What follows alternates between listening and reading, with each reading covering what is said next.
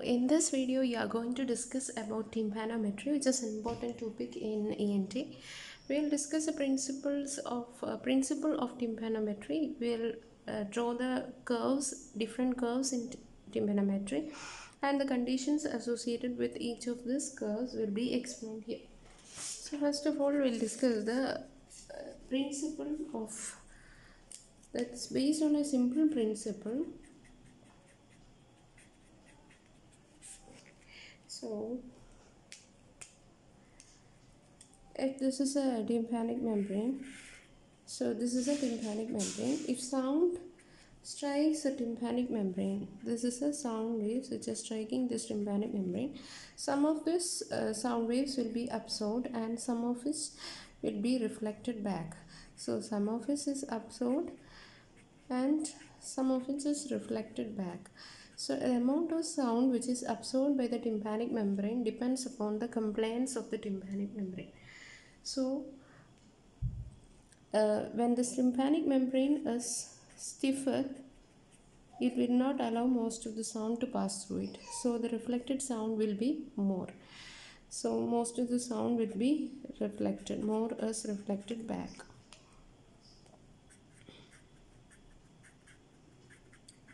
So a more compliant tympanic membrane will allow most of the sound waves to pass through it, more absorbed.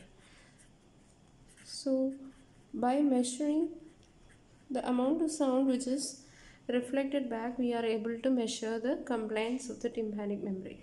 So in tympanometry, what we basically do is that this is the external auditory canal and this is the tympanic membrane so we will change the pressure inside the sealed external auditory canal from positive to 0 and then negative.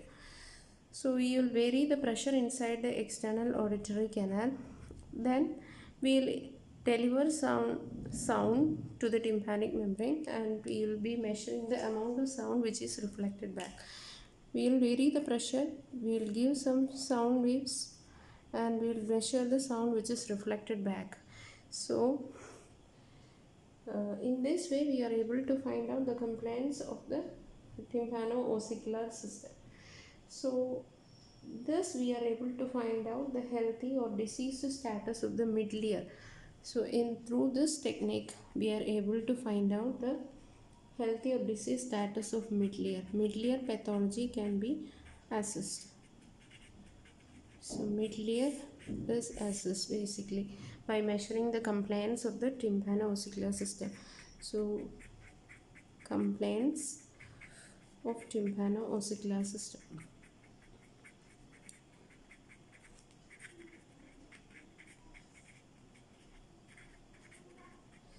So we are introducing some sound waves and we measure the reflected sound we are changing the pressure inside the external auditory canal and measuring the amount of sound which is reflected back.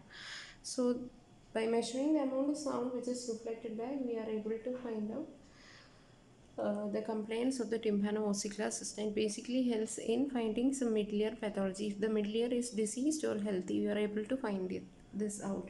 That's what this uh, technique we are using. Technique is that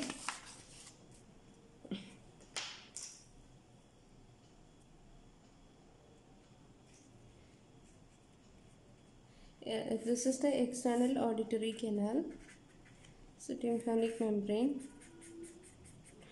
uh, we are introducing a probe here. So the probe has got three channels. Three channels are there. For the one channel what it does is that it, it is an oscillator to produce a tone of oscillator to produce a tone of 220 hertz so we are delivering the sound energy to the tympanic membrane through this channel. There is another channel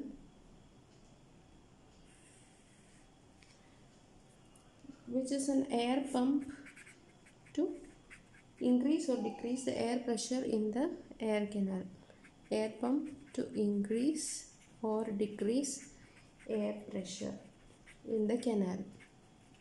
And there is another channel which has got a microphone to pick up the reflected sound energy. So this is this is tympanic membrane this is a microphone. To pick up reflected sound.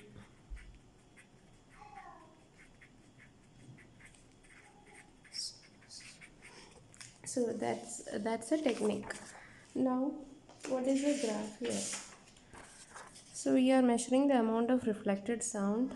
Through that we will be able to know the compliance.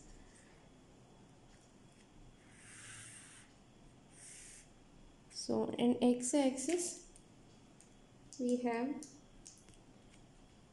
the pressure here. That is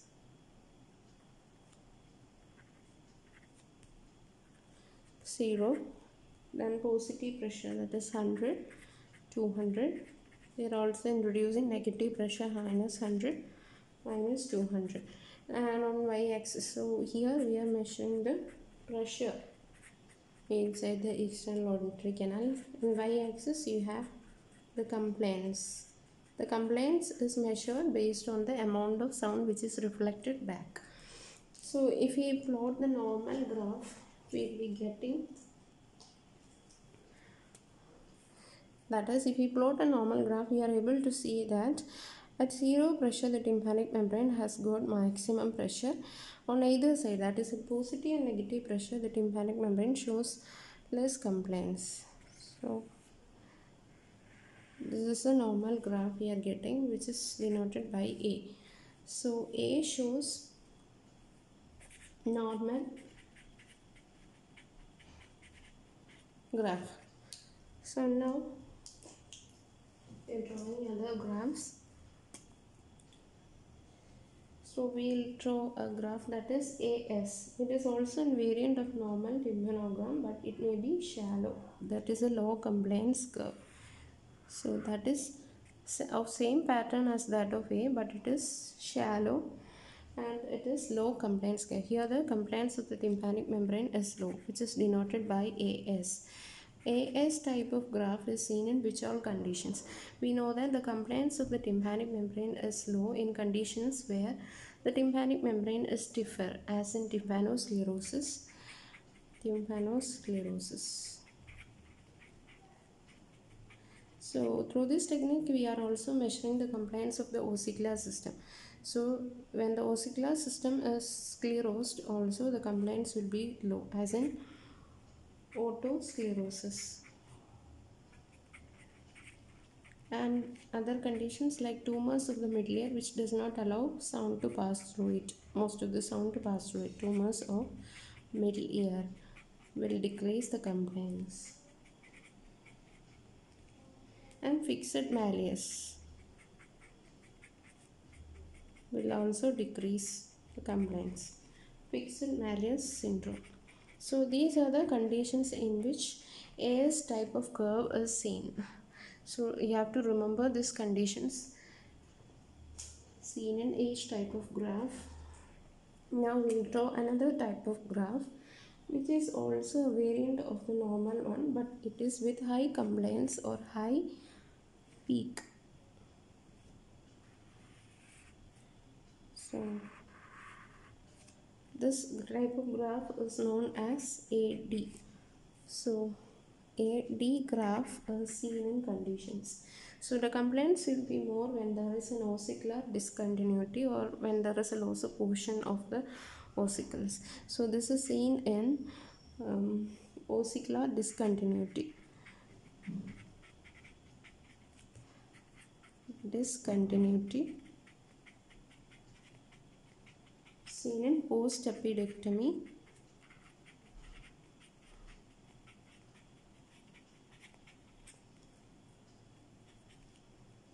and monomeric eardrum monomeric.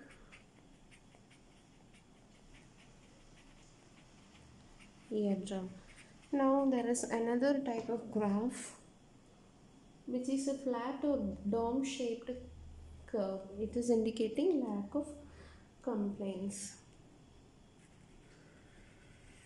This type of flat or dome shaped graph is denoted by B.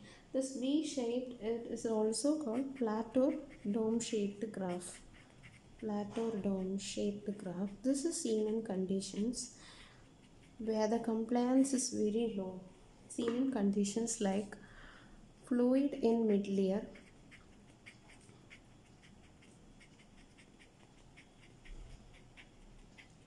secretory otitis media secretory otitis media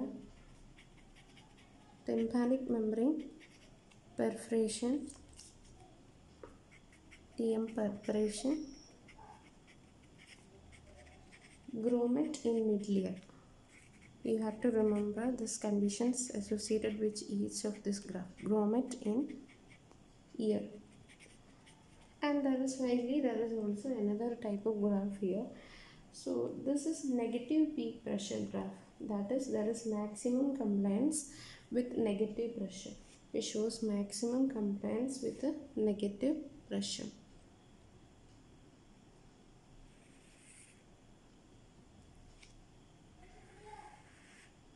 So this is C graph C.